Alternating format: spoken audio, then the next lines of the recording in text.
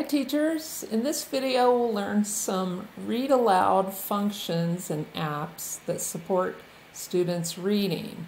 So some of the apps that we use have a built-in read aloud function. Here we are on Newsela and I can click into read aloud right here. All female astronauts and flight controllers helm historic spacewalk. By Washington Post, adapted by Newsela staff. Also on Common Lit, we have a read aloud function here.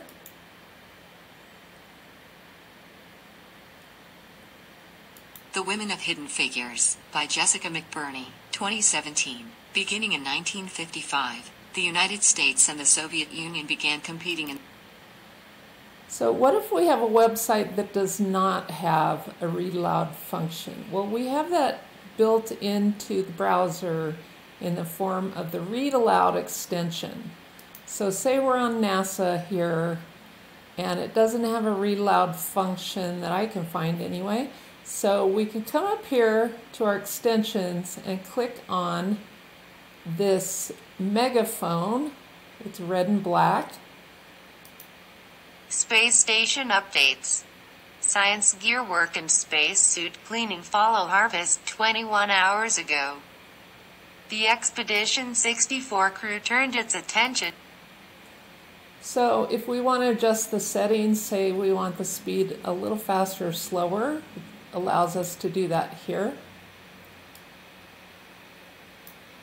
We can also select a different voice. However, be aware if you select some of these, it translates the text into a different language.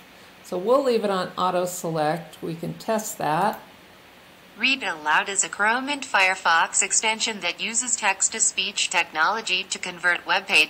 Read Aloud is a Chrome and Firefox extension that uses text-to-speech technology.